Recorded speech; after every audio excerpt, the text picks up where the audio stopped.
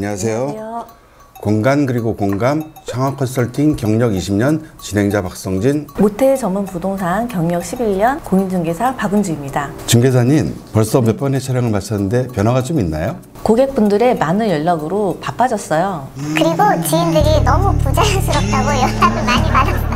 그거는 시간 문제 아닐까요? 오늘은 어떤 매물을 소개해 주실 건가요? 오늘은 충청도에 있는 리모델링이 완료된 매물을 소개시켜 드릴게요. 모텔 운영을 오래 하신 분들도 리모델링 하실 때는 무척 힘들어 하시는데 이미 새로운 인테리어가 완성된 매물을 구입하게 된다면 훨씬 좋으시겠네요. 그렇죠. 숙박업 초보자 분들이 낡은 모텔을 매입하셔서 리모델링까지 하려면 많은 비용과 시간이 들어가지만 실제로 공사하시더라도 생각하신 것처럼 인테리어가 안 나온 경우가 많아요. 그러니 숙박업 초보자 분들이라면 오늘의 매물처럼 리모델링된 건물을 구입하시는 게 더 좋습니다. 중개사님 네? 리모델링은 어느 정도 하셨나요? 건물 전체 공사를 하셨어요. 내부 인테리어도 많이 신경 쓰셨고 가전, 침구류, 비품 전부 새 것으로 교체하셨습니다. 전체 공사라면 건물 내부를 완전히 바꾸셨다는 얘기네요. 그렇죠. 오픈은 하셨나요? 현재 오픈한 지 약 3주 되었습니다. 오픈한 지 3주 되셨다는데 매출은 어느 정도 나왔나요? 현재 3주 동안 매출이 4천만 원 정도 나왔다고 말씀하시네요. 중개사님 네. 매매 금액은 어떻게 되나요? 매매 금액은 35억입니다. 융자는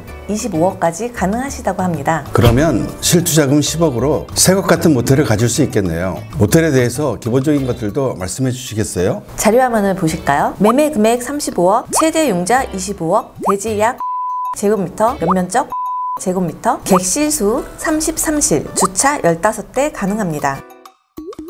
오늘은 리모델링 완료된 매물을 알아봤습니다. 다음에도 좋은 매물로 찾아뵙겠습니다. 지금까지 공간 그리고 공감 진행자 박성진 공인중개사 박은주였습니다 감사합니다. 감사합니다.